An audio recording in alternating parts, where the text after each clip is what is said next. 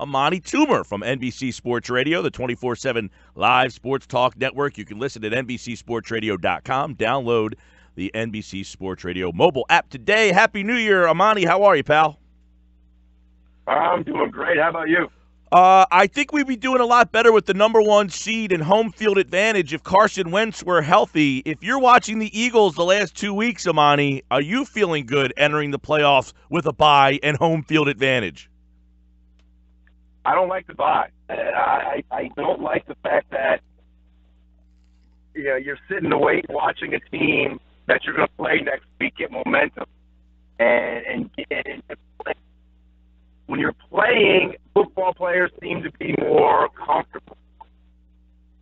When you're off, it's not really all that great because you know it, it, every time you come up a bye week, there's usually like a half, maybe sometimes a quarter, a series or two that you're just not the same. So I always felt uncomfortable because I wanted to hit the ground running, and very infrequently does that happen when you have a bye week. Yeah, they were in a tough situation, uh, only compounded by the fact Amani that they lost their quarterback. Last week, they played him a couple of series, and then they got him out of there. He didn't look very good. I mean, they're in a very unenvious situation here. But what about Nick Foles are you watching or seeing particularly maybe that uh, uh, that he is struggling so bad? Is this just the fact that he hasn't played all that much, or is this just he's not all that good? I think he's good. Uh, I saw him play against the Giants. He made some plays that made my, uh, you know, made would impress me. So I, I'm not understanding where oh the whole team is going to fall apart because they don't have Carson Wentz. Do they would they rather have Carson Wentz? Absolutely, but I think the fact that he has had success in the league, He's he started a playoff game before. I think all that's going to help him. I, I think he's going to do all right. I, I I'm not I don't think Nick Foles is as bad as people think he is. So you're not putting a lot of stock in the uh, the last couple of games against Oakland and Dallas, where he uh, he really struggled. I mean, the, the Dallas game didn't have a lot of meaning. They kind of got him in, got him out. It was about six degrees here, so I don't know how much stock you put in that game. Uh, you know, it's hard when you're playing a game that's not for real. You know, it's like your as soon as they kind of secure their playoff spot, it's hard for you know so I don't I don't like going into games for a quarter or two quarter knowing that you're going to get the hook pretty soon. I, I don't I don't think that those are fair yeah. assessments. It's like the preseason. You can't really you know judge. I think he's going to be a much better. I think he's going to. I think the Eagles have an excellent opportunity. Uh, I think he's going to be. He's going to play like he played against the New York Giants. Uh, a better quarterback that can make every throw on the field, and that's boy. I I, I believe it. Uh, speaking of the Giants, we're talking with former Giants wide receiver Amani Toomer, now with NBC Sports Radio.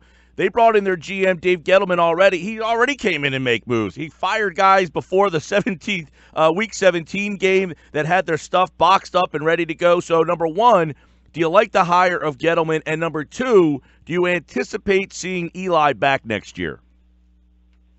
I think Eli will be back. Um, I think that, uh, Gettleman yeah, I think it's an interesting hire. There's a lot of familiarity there. I'm not ready to say it's good or not. I, I'm excited. I've known him for a long time. He was there for my entire career with the Giants. I, you know, I got a chance to talk to him on, on occasion.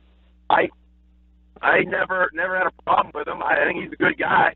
Uh, I just don't know how he's going to be as a, as a general manager. I know he had some trouble down in Carolina, obviously shortening his tenure down there, but I'm sure he learned something from there, and and I hope that ultimately he'll bring the Giants back to uh, prominence and have that culture, which a lot of people uh, around that organization were were, were rumoring about uh, to me about how bad the, the culture was. Hopefully, that'll turn around, and the Giants will be uh, a viable team again in the, in the near future. All right, a couple games I want to get your take on. Let's start at the NFC side of things. Falcons and Rams. You got the defending Super Bowl champs uh, up against the upstarts here. So, kind of give us uh, your initial reaction to the six versus the three. Uh, I I really like uh, the Atlanta Falcons. Uh, I think it's a tough situation for a team that has already had success in the playoffs uh, to play a team that's never been in a playoff situation uh, and, and for the most of the people on that team. So I think the advantage goes to the uh, the Falcons. I know that the Rams have probably a better team, but the mental part of the game really plays a role in the playoffs. And having the pressure on you to have the home playoff game. Right.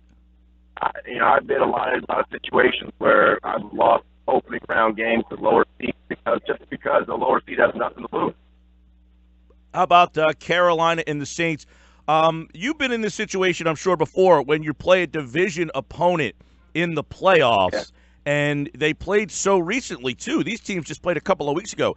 Having that matchup in the first round of playoffs probably makes this difficult uh, in terms of gameplay. Well, I, I, guess it's easy to gameplay, but difficult to find something new to do against the, your opponent. Absolutely, and that's what the real problem is. Is and that's why this is probably going to be the best game of the week because it's going to all come down to which team is more physical and which team executes better. You're not going to be able to trick the other team. They're not going to be able to run a reverse or all this stuff. They know. Both teams know exactly what the opponent wants to do. Right. They know their strengths. Yep. They know their weaknesses. And that, to me, led familiarity leads to a better football game. Uh, that is and the. I'm, I'm really looking forward to this. Yeah, that's a fun one. Now, Atlanta, Carolina, New Orleans. They're the three possible Eagle opponents. Atlanta, Carolina, New Orleans. If you're Philadelphia, do you have any pom poms? You rooting for anybody, or just bring on whoever I get? Uh, I think you want to play against uh, Atlanta. I think Atlanta is the team you want to play against because uh, I think you. There's not a there's not a great option in that NFC field. That NFC is loaded. It is. I mean, every team is pretty much they're, they're right around each other with a, with a win or two. So yeah, it's that's very very competitive. But if I had my druthers, I'd probably want to play either a team that hasn't had any playoff experience uh, maybe in the Rams, or something like that. Or but I, I, I definitely would not want to play uh, the Carolina Panthers. Um, we'll leave you with this: Amani Toomer, NBC Sports Radio. Uh, we talked about the NFC field. Uh, the NFC, the underdog, regardless of who makes the Super Bowl. Do you like Pittsburgh, New England over any of the six NFC teams? No, I think the NFC is, is, is a better division. I think they have more complete teams. Uh, I think the Patriots, if you put them in the NFC or the Steelers in the NFC, I, I think they would be, you know, maybe uh, they wouldn't they wouldn't have a number one seed. They would have a the, the third seed. They'd be playing week one at, at best. Uh, I just think that the NFC is much more competitive, and Carolina, the team that's the number was the number five seed. Yep. They went into New England and beat them. Uh, he's, Amani, he's Amani Toomer, NBC Sports Radio, the 24 7 live sports talk network. You can hear it at NBCSportsRadio.com. Download the mobile app today. Happy New Year to you, pal. We'll talk to you again next week. Happy New Year. Thanks a lot. Thanks for having me on. All right, Amani Toomer, everybody, here on the Sports Bash 97.3 ESPN.